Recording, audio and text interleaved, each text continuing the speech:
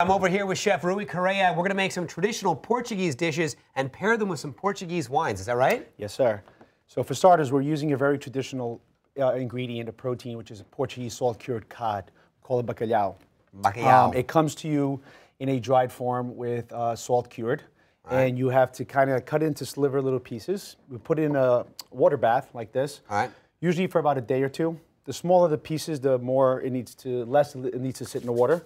Once uh, you need to taste as you go along, you still want the salt to be left in it, but not obviously over salty. And that's the thing with curing. It's it's going to be really salty if It's we intense. don't. Yeah. Oh, yeah. It's intense salt. You, you wouldn't you wouldn't be able to, to eat that. Right. But once you wash it out in water for a couple of days, it it, cook, it becomes this beautiful texture, and you start to get this like uh, pearly white finished flesh look to it. Beautiful. You want to pat it down, right? So to get all the water access out of it, so it doesn't water down the dish.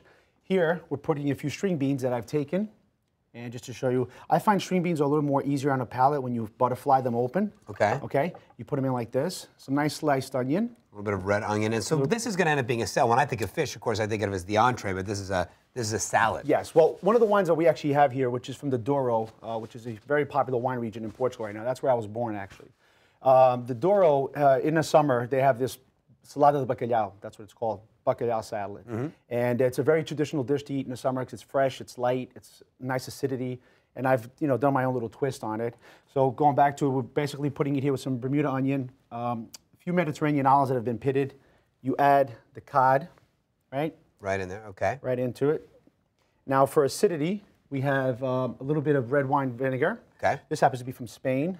That's okay. They're our neighbors. We'll let that one go. They're our We'll let that one go. It's All right. A Yeah. little Portuguese olive oil.